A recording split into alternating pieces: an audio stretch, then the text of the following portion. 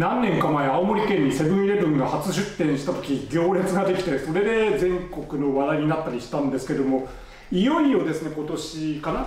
えー、星野コーヒー店が青森市に進出してきたのでようやく星野秀彦さんのお誕生日に星野コーヒー店で誕生日のお祝いをするっていうのができました、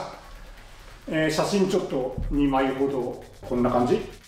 えー、iPhone で写したので普段こうミラーレス一眼と呼ばれるこういうこういうやつ。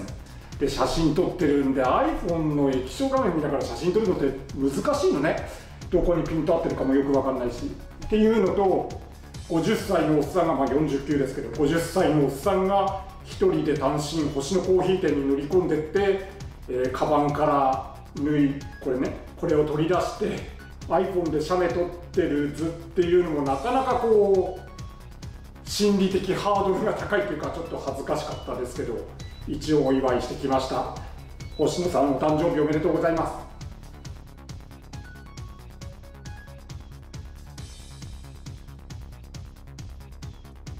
というわけで、まあ、さっき冒頭でもお話ししたんですけど割と写真撮るのが好きな方なので星野さんの縫いを写真に撮って現像してみました、まあ、現像っていうのもね写真趣味にしてない人にはちょっとわからない作業かもしれないですけどもまあとりあえず出来上がった写真何枚かこういう感じですね。えっ、ー、とこの背景なんかモヤモヤっとしてますけどそういう思わせぶりな紙っていうのが売られててこの思わせぶりな黒っぽい紙デコボコしてるんですけどわざとねでこぼこしてて思わせぶりになるんですけどそれ紙なのに8000円ぐらいするんですよね。まあそんなものを使って撮りました。一応太陽光で撮ってるんで現像できる人だったら誰でもこういう写真は撮れるかとは思います。別にミラーレス一眼じゃなくても iPhone とかでもピントさえきちっと合ってればこういう写真は現像できるかと思います。現像現像とフォトショップの修正のどこが違うのっていうと明確な区切りはないんでまあやりすぎるとフォトショになっちゃうんですけど僕はそこまでやらずに撮った素材の色を適正化するような感じで。興味ない人にはどうでもいい話ですけど。あので僕去年の動画多分この誕生日の時期に出した動画だと思うんですけど星野さんの楽曲で好きな曲3曲をあげるっていうので当時誘惑とオフィーリアとラブパレードを上げてたと思うんですで今年になって、えー、その動画の後でアブラカタブラが加わって改めて考えてみたんですけども今年も好きな曲3つあげろって言われてやっぱりその3つかな。変わってないような気がしますね、えー、オフィーリアと誘惑とラブパレード。それと時点でマイベイビージャパニーズタイプ2が入ってくるかなっていう感じ。えーと星野さんの曲で言うとね凍えるとか月の砂漠とかももちろんすごい好きでこのベスト3あたりと全然差がないぐらい好きなんですけどその辺の両曲っていうかないい曲「マンジュサカ」とか、えー、マスク」とか「メースク」とか、